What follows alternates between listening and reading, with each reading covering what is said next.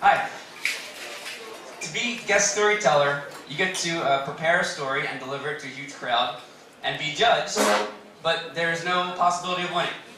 So that's that's quite an honor. And I'm a, an art teacher by day, and one of the most monotonous parts of uh, being an art teacher is mounting student work. And for the layman, that means putting glue on their work and pushing it down into a larger rectangle of construction paper so it gives the illusion of being framed.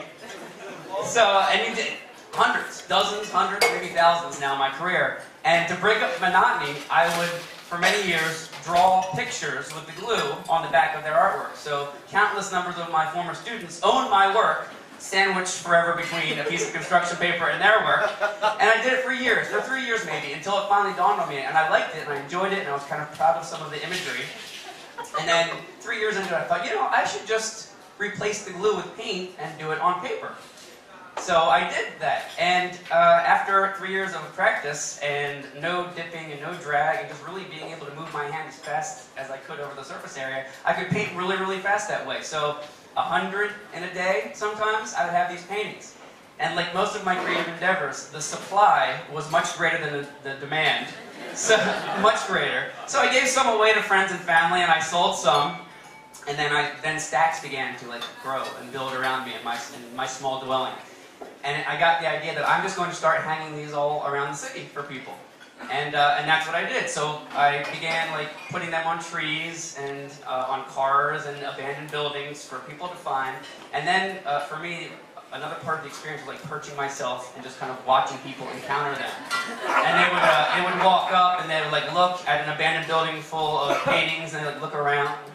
Like it was some kind of setup or trap, like a net was going to fall down on top of them. And uh, so I really enjoyed it. And then like the stacks dwindled, and then I began making more, and then putting more out there, and making more.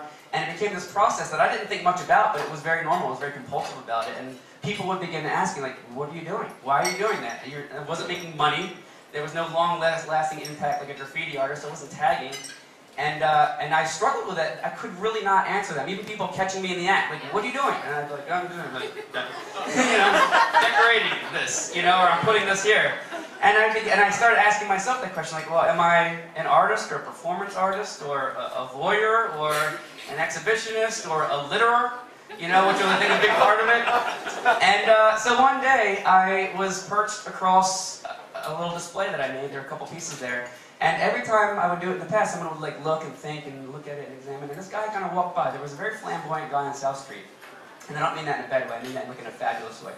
And he was walking down South Street with a bunch of coffees, maybe six. And he just walked, and then he, he, he encountered my work, but didn't even really turn his head, just like kind of and took, just grabbed him, didn't even break stride, just kept walking, and just kept walking. And I thought, this is my arch enemy.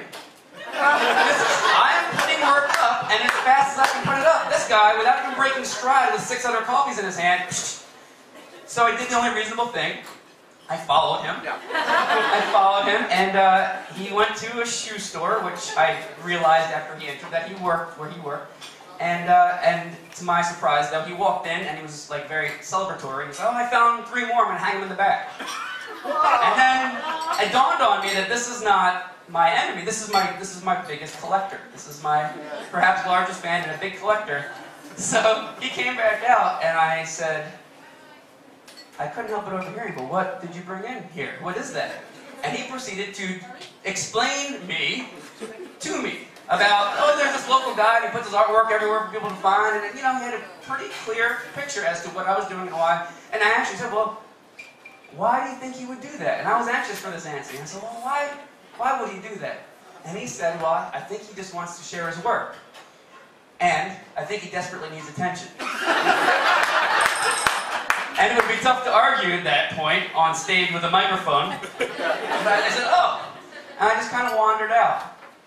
And uh, I, I, would assume, if he told the story, to hear it from his perspective is that he got procured free art. But when I tell the story, I, I had a one very insightful therapy session, and I paid in art. Thank you. Yeah.